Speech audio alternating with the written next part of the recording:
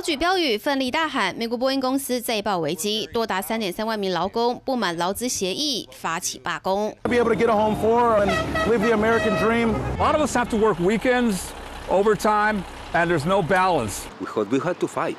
If we won't fight, we won't get nothing. 波音上一份劳动合约已经实施了十六年，但劳工认为薪资成长无法赶上生活成本上升。从三月开始和资方展开谈判，原本这个月八号达成初步协议，但有百分之九十四点六劳工投票否决，更有百分之九十六压倒性支持通过罢工。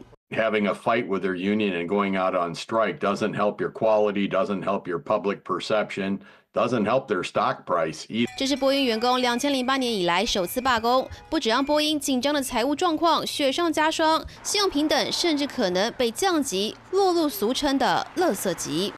而波音则写了公开信，指出罢工已经危及公司复苏，必须采取必要行动以保留现金，同时冻结所有层级招聘，以及计划大幅削减供应商支出。We really do need to get this solved quickly, but The solution's also expensive. The solution's to pay more money. 专家更指出，两千零八年的罢工让当时的波音一天至少损失一亿美金。尽管这次罢工短期内并不会影响航班，但仍将冲击到畅销客机的生产。加上目前波音财务状况面临压力，需要足够现金流偿还债务，歹戏托棚的结果恐怕只会雪上加霜。